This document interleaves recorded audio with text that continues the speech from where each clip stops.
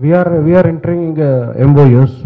The first MOU we are going to have with uh, Tata Projects, wherein uh, we are jointly uh, establishing the drinking water plants across the Telangana state in all villages, wherein uh, the Tata group is going to support us. The project cost is around 7 lakhs.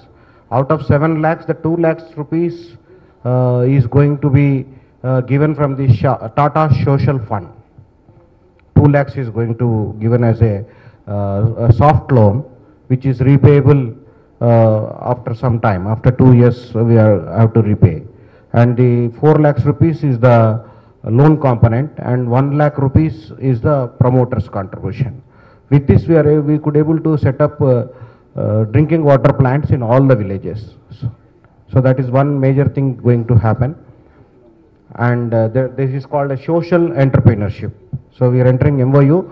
This is across the country we are entering and in particular